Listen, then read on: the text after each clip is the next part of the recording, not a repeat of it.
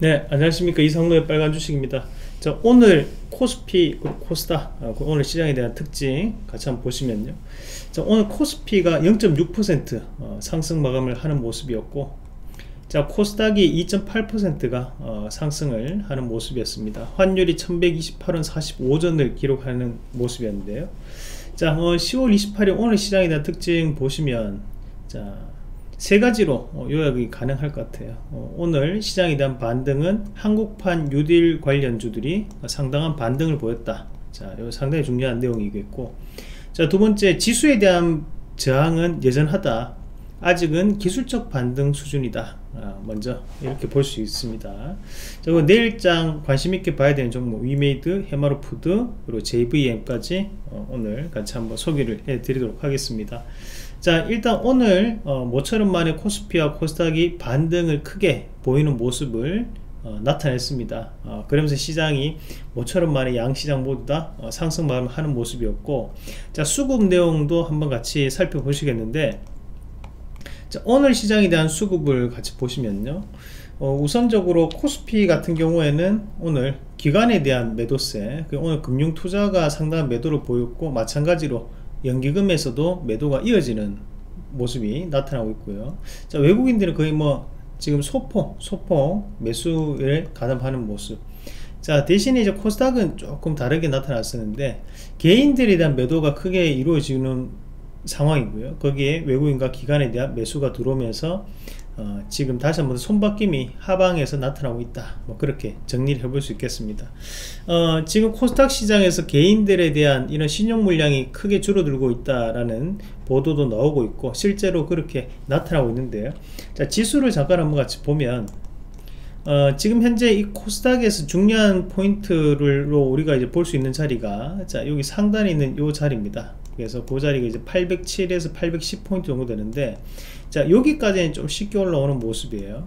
어, 하지만 여기에서 이제 돌려내 줘야 되거든요. 여기서 돌려내서 여기까지 가져야지 만 우리가 아 기축 반등이 성공했다. 적어도 언제까지 올라가 줘야 되냐면 상단에 있는 지금 840포인트 전후로까지는 반등을 보여줘야지만 어, 우리가 좀 더 시장을 긍정적으로 해석을 할 수 있는 부분이고 만약에 이 자리까지 가지 못한다면 가지 못한다면 그에 따라 가지고 지금은 여전히 기술적 반등 수준에 머물렀다. 어, 그렇게 평가를 할 수 있습니다. 자 그래서 지금은 지수 자체는 그냥 기술적 반등 수준 최근에 하락폭이 컸기 때문에 그에 따른 반등이다. 어, 그렇게 볼 수 있는 거고요. 어, 한 가지 장점은 하단에서 바닥권역 7월 27일과 28일 양일간 거래량이 더욱더 늘어났다는 것은 또 긍정적으로 볼 수 있는 위치입니다. 자 마찬가지로 우리가 지금 현재 오늘 시장에서 전반적인 어, 포지션 그 내용을 한번 확인해 보시면 첫 번째 내용이 바로 오늘 시장에 대한 반등은 한국판 뉴딜입니다 라는 제목인데 오늘 문진 대통령이 시정연설을 했었는데 거기에 대한 내용 한번 정리를 해서 같이 보시면 자 우선은 문재인 대통령이 국회에서 내년도 예산안을 시정연설을 했습니다. 이런 이런 이런 예산을 평가를 했고 여기에 이 예산을 짰으니까 잘 도와주십시오 하고 그런 연설을 하셨고요. 거기 총 555조 8천억에 대한 예비심사를 돌입합니다. 그래서 국회 본회의 일정은 12월 2일인데 항상 이제 이 12월 2일 날 된 적보다는 좀 더 연기가 될 때가 많았죠 그래서 여기서 진행이 된다 그렇게 알고 계시면 됩니다 이 예산안이 왜 중요하냐 어, 지금 이 내년도에 대한 예산안이거든요. 그러면 지금 행정부라고 하는 어, 우리가 이제 청와대 어, 또는 기재부에서는 이미 예산을 짰어요. 이 돈은 어떻게 쓸 거고, 이 돈은 어떻게 쓸 거고, 이 돈은 어떻게 쓸 거고, 이 돈은 어떻게 쓸 것이다. 그러니까 여기에 해당하는 부분에서 한국판 뉴딜, 바로 뉴딜 펀드에 대한 내용도 포함되어 있다는 거죠. 그러니까 이 예산이 통과가 된다면 내년도에는 그 돈이 한국판 뉴딜에 투자가 된다고 보시면 돼요 하지만 여기서 뭐 깎이거나 증액되거나 이런 변화가 생기겠지만 결국에는 예산 자체가 정해진다는 것은 좀 더 모멘텀을 지속적으로 가져갈 수 있다는 뜻으로 받아들일 필요가 있다는 거죠 그럼 오늘 시장에서 수소차 관련주나 전기차 관련주 또는 신재생 에너지 관련주들이 반등이 강하게 나왔던 것이 이해가 되는 거예요 그죠? 왜냐 예산이 통과가 되면 이대로 시행하겠다는 얘기니까요. 그러면 그 예산안이 어떤 식으로 진행이 되는지 잠깐 우리가 맛보기만 좀 보여드리면 자 우리 한국판 뉴딜에 대한 본격적으로 추진하는 투자가 약 21조 원이 잡혀 있습니다.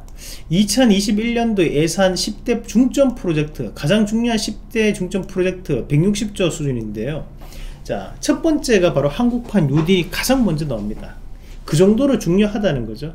이 한국판 뉴딜에 대한 예산안이 그대로 통과가 된다면 어, 이런 앞서 말씀드렸던 그린 뉴딜과 디지털 뉴딜 관련된 종목군들이 상당한 상승세를 보일 가능성이 높다고 봐야 되고 자 마찬가지로 민간 소비에 대한 창출이라든지 자 그리고 여기에 이걸 보시면요. 혁신적 뉴딜 투자 펀드를 조성하겠다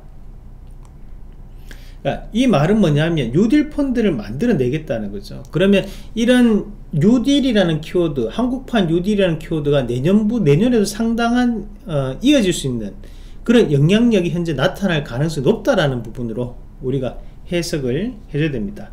자 마찬가지로 밑에서 이제 조금 중요하게 우리가 또 봐야 되는 것이 자, 국민 생활 환경 청정화 그런 깨끗한 공기 맑은 물 녹색 생활 공간. 자 그러면 여기에 대해서 이런 부분 자체가 바로 신재생 에너지와 또 연결되는 부분입니다. 아, 그래서 이런 부분까지도 참고했어서 예산안이 어, 우리가 투자가 되는 곳에 결국 주가에 대한 움직임도 좋아질 수밖에 없고 지속적인 모멘텀이 생길 수밖에 없다고 봐요 그래서 그런 것들을 꼭 기억을 하시면서 자 4번을 그냥 지나쳤는데 이 4번도 중요한 내용이거든요. 그래서 그 내용까지도 꼭 참고하셔서 보시면 되겠습니다. 자 이렇게 이제 예산안에 대한 얘기가 나오면서 오늘 시장에서 한국판 뉴딜 관련주들이 강한 반등세를 좀 보였는데요. 어, 일종의 지금 현재 기적 반등 수준으로 우리가 봐야 되는 거죠. 여기에서 추가적인 상승 자체가 어떤 식으로 넘어가느냐는 시간을 가지고 좀 더 지켜볼 필요가 있습니다. 오늘 수소차 한 뭐 대표적인 종목군 몇 가지만 먼저 보시면 자 우선 우리가 이 수소차 관련주 안에서도 뭐 수소차 충전소 어, 뭐 JNK 히터 같은 종목군도 있죠. 그러니까 지금 현재 이 반등을 보여야 되는 시기에 반등을 보여야 되는 시기에 또다시 한 반등이 나온 거예요 그럼 여기 이 자리는 다중바닥 형태를 띠던 위치거든요. 그럼 현재 이 자리 자체가 어, 반등이 나왔다고 해서 이게 여기서부터 이렇게 넘어간다라고 보는 건 좀 힘들죠 아직까지는. 왜냐하면 이 하락에 대한 파가 이 하락에 대한 파동이 컸기 때문에 그러면 여기 반등 자체가 여기 적어도 여기 9천원대까지 나와줘야지 우리가 상승 추세로 넘어갈 여지가 높다라고 볼 수 있는 거지. 지금은 여기밖에 안 된다는 거죠. 그래 여기는 이렇게 하락한 파동에 대한 반등일 뿐이거든요 그럼 아직까지 기술적 반등 수준이다. 자 마찬가지로 오늘 전기차 관련주들도 오늘 반등을 조금 보였는데 자 지금 LG화학 같은 경우는 조금 체크를 해 봐야 됩니다. 왜 LG화학을 체크를 해야 되느냐? 어, LG화학의 국민연금이 지금 어, 물적 분할을 반대를 하겠다 라는 얘기를 했거든요. 그러면 다시 한 번 더 지금 개인 투자자들에 대한 매기세가 들어올 가능성이 높아졌다는 거죠. 자 그러면 앞서서 주가가 한번 크게 출렁거렸던 자리가 바로 이 자리 앞서 봤던 이제 67만원 자리인데 자 이 자리까지 저는 반등이 나올 거라 보거든요. 하지만 여기서 이제 돌파가 어떤 식으로 이어질 것인지에 대한 여부 우리가 체크를 해볼 필요가 있습니다. 그래서 지금 이미 실적에 대한 부분은 반영이 됐고요. 그러면 지금은 4분기까지 변수가 나타날 수 있는 건 바로 물적 분할이라는 부분인데 거기에 대해서 추이를 좀 더 기억을 하시면서 보시면 좋겠고 다만 어, 우리가 지금 현재는 신규 매수를 할 수 있는 자리는 아니라고 저는 봐요 신규 매수는 아니고요. 보유자에서 보유하고 계신 분들이 단기적으로 70만원 전후로 대한 반등을 기다려 볼 수 있는 자리 어, 그렇게만 어, 정리를 좀 하도록 하겠습니다. 자 최근에 움직임이 상당히 좋은 것이 바로 디지털 뉴딜 관련된 종목군들에 대한 매기세가 계속적으로 쏠리고 있습니다. 오늘 어, 로봇 관련주가 다시 한 번 더 움직이는 모습들이었는데 자 바닥권역에서 유진 로봇도 들썩들썩 하면서 오늘 움직임이 꽤 나타났었고요. 마찬가지 디지털 뉴딜 안에서도 우리가 네이버 같은 기업들도 다시 한번 반등을 붙여내는 모습이었어요 자 그리고 카카오도 오늘 다시 한번 반등 붙여내는 모습이었는데 자 이 말은 뭐냐면 지금 시장 자체는 그린 뉴딜에 상당한 매기세가 쏠려 있었거든요. 그러면서 신재생 에너지 풍력 태양광 그럼 오시아도 지금 오늘 반등이 밑에서부터 강하게 올라왔습니다. 이대로 죽지 않는다 했죠. 장기도 가능한 종목이라 했죠. 왜? 어, 결국 오팡은 지금 현재 확대되고 있는 양상이거든요. 그러니까 이 업황이 앞으로도 이어진다고 봐야 돼요. 그러니까 지금 현재 그린 뉴딜은 우리가 상당한 관심을 가지고 지금까지 또 시장을 이끌어왔다. 하지만 디지털 뉴딜은 그건 아니었다는 거죠. 그럼 이 디지털 뉴딜도 상당한 변화가 나타날 가능성이 높다. 라는 부분으로 어, 해석을 할 필요가 있습니다. 자, 아시겠죠? 그래서 이 디지털 뉴딜 안에서도 중요한 프로젝트 포인트들이 몇 가지를 제가 제시를 해드렸던 부분 다시 한번 더 꼭 살펴보시면서 어, 시장을 읽어 나가시는 전략이 필요하다는 말씀까지 드리도록 하겠습니다. 자, 어, 오늘 전반적인 시장이 반등이 나왔더라도 결국에는 지금 시장은 개별주와 낙폭과대 저가 매수가 상당한 유입이 되는 시장입니다. 그래서 그 어, 포지션을 기억을 하시면서 조금 많이 오른 과도하게 상승했던 종목군들에 대한 추격 매수는 가급적이면 자제하자. 그리고 길게 길게 볼 수 있는 시장은 아니다. 우리가 장기 우량주들은 길게 저가 매수해서 들어갈 수 있지만 어, 하지만 우리가 단기적으로 조금 이렇게 시세가 급변동하는 종목군들은 항상 단기 trading이라는 접근성으로 어, 봐야 된다라는 말씀까지 드리도록 하겠습니다. 자 그럼 오늘 우리가 좀 눈여겨봐야 되는 종목 위메이드하고 해마로푸드 그리고 JVM 세 가지 종목 소개를 해드릴 건데 자 일단 위메이드 같은 경우 전일 방송에서 한번 소개를 해드렸던 기업이기도 하고요. 지금 다시 한번 더 소송이 승소가 되고 난 다음에 어, 우리가 이제 지식재산권 다시 한번 부각을 받으면서 지금 다시 한번 상승을 하는 모습입니다. 어, 지금 이 위메이드가 신제품 신규 게임을 출시를 앞두고 있는 상황이고 그런 상황 자체 또 이 기업이 4분기 같은 경우에는 성수기에 또 진입하는 시기입니다 그런 움직임을 봤을 때 바닥을 상당 부분 다졌다고 저는 판단을 하거든요. 예, 지금 올라가는 추세는 우리가 좀 더 눈여겨볼 수 있는 추세대 안에 놓여있기 때문에 자 소송에 대한 악재는 이미 선반영됐고 오히려 그건 또 승소로 마감이 했어요. 그럼 이 기업에 대한 가치는 좀 더 바뀌지 않을까? 그런 말씀까지 드리면서 이 위메이드 출신이 게임계 안에서는 상당히 뭐랄까 인지도 인기도가 있습니다. 우리가 지금 카카오 게임즈에 대한 대표이사도 위메이드 출신이거든요. 그런 부분 자체를 감안해서 어, 우리가 좀 더 살펴보자. 말씀까지 드리도록 하겠고요. 자 그리고 이제 두 번째 우리가 종목 해마로 푸드 서비스인데요. 어, 해마로 푸드 서비스는 이제 맘스터치라는 어, 우리가 브랜드 네이밍으로 유명한 업체고요. 앞에서 한번 여기 2020년도 아니죠 아니죠. 여기 요 자리가 아니고. 자 앞에서 어, 요 자리 맞죠? 대주주가 한번 교체가 최대주주가 변경이 됐습니다. 그러고 난 다음에 지금 주가가 한번 크게 빠졌다가 다시 한번 더 올려내는 양상인데요. 저는 이번 상승은 좀 더 눈여겨볼 수 있는 상승이라고 판단합니다. 어, 일단 이 지금 우리가 11월 달에 11월 어, 달에 교촌 F&B 교촌 치킨이 상장을 앞두고 있습니다 그럼 이런 외식 산업업계에 대한 재평가는 나타날 수 있다고 보거든요. 어, 그러면 지금 1인 가구가 증가하고 있는 시점에서 이 해마로푸드 서비스에 대한 부분도 주가에 대한 변화 가능성은 높다고 보고 좀 관심있게 지켜보자는 말씀까지 드리겠고 자 그리고 이제 세 번째 JVM인데요.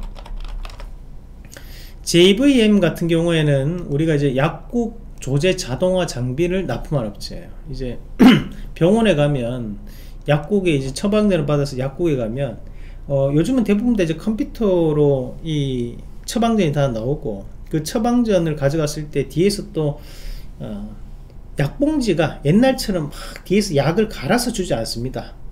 어? 어, 요즘은 이제 기계가 다다다다 해가지고 분류 다 하고 약봉지에 컴퓨터 다다다다 다 들어가고 포장이 되어 가지고 어, 이쁘게 나와요. 음? 그런 제조 자동화 장비를 어, 생산하고 납품한 업체가 JVM이라고 보시면 되고요. 이게 우리나라 뿐만이 아니라 전 세계적으로 어, 점유율이 상당히 높은 회사입니다. 그 미국 같은 경우 70%, 유럽에서도 60% 이상을 이 JVM이 차지하고 있고 이 JVM에 대한 대주주가 바로 한미사이언스거든요. 한미그룹입니다. 그런 부분 자체를 감안한다면 이런 약국 조제 자동화 장비 업체에 대한 재평가는 저는 분명히 가능하다고 봐요. 그래서 여기 JVM도 관심있게 지켜보자는 말씀까지 어, 드리도록 하겠습니다 자 전일 어, 공개 방송을 진행을 하고 난 다음에 어, 계좌를 잠깐 보여드렸었는데 어, 이 계좌를 또 물어보신 분들이 많으셨습니다. 그래서 그 계좌 잠깐 보시면 우리가 이제 10월달 10월 7일까지 우리 여기 3,800만 원이 수익이었는데 2,200만 원으로 어 요게 이제 또다시 조금 더 늘어났어요. 그래서 4,500만 원을 지금 현재까지는 올리고 있는 상황이고요. 어 대신에 이제 회전율도 높습니다. 그래서 어 시장이 10월 달에도 안 좋았어요. 10월 달에 시장이 좀 빠지는 시장이었지만 어, 제가 우리 가족분들한테 얘기하는 것이 어, 단기적으로 1차나 2차 정도까지는 종목군들이 대부분 올라옵니다. 그래서 거기에 따른 매매를 하다 보니까 좀 더 이 복리가 붙으면서 눈덩이가 조금씩 커지는 것 같아요. 그래서 뭐 올해까지 1억이 되면 좋겠는데 아, 그거는 뭐 희망사항이고요.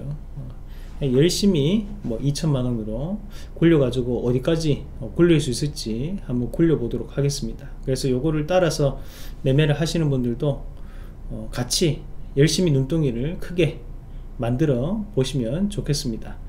자 그래서 이렇게 저희가 할인 이벤트 어제 선착순 20명 했는데 20명은 마감이 됐고요. 어, 또 추가적으로 하시더라도 어, 저희가 제가 재량으로 어떻게 해서든 어, 혜택은 드릴 수 있는 방안으로 말씀을 드리도록 하겠습니다. 그래서 점입고 한번 해 보시고요. 자, 어, 자 어, 방송에서도 좋은 수익 보여드릴 수 있도록 어, 여러분들께 좋은 정보 많이 말씀드리도록 하겠습니다. 자, 어, 오늘 준비된 내용은 여기까지 말씀을 드리겠고요. 또 내일 이 시간에 또 다시 뵙도록 하겠습니다. 이상입니다.